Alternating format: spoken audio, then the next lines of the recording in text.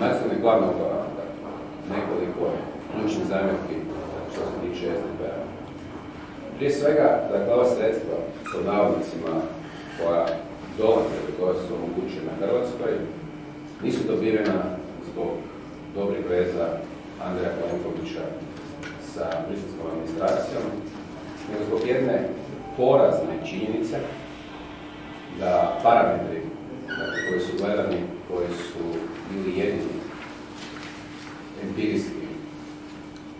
važni, se odnose na vladavinu Andreja Plenkovića od 2015. do 2019. a to je bila stopa zaposlenosti, to je stopa nezaposlenosti. I to je zapravo bio pad BDP-a u vrijeme pandemije. A znamo da je zbog strukture gospodarstva, a to je turizam, Hrvatska uz Grčku zapravo najugroženija zemlja Europske unije.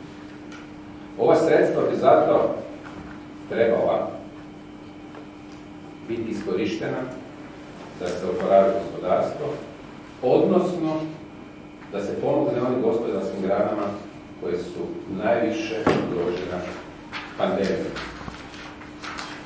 Druga stvar, drugi cilj je otpornost.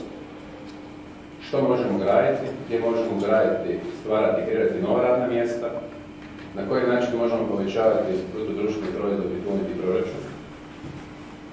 Jer znamo da, nažalost, ove godine to iz turizma neće biti moguće.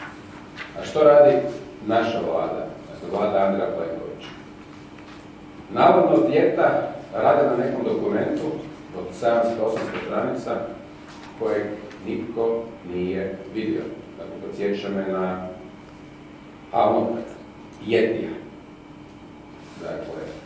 Također, jedno od preduvjeta korištenja ovih sredstava i nekakav raspored reforme koje će se raditi. Oni ne slušaju, čak nas ne trebaju slušati, ali ne slušaju gospodarstvenike, ne slušaju javnost, dakle čine nešto što je u briselskom, briselskoj tehnologiji vrlo jednostavno. Ajmo zadovoljiti formu, a nova će doći.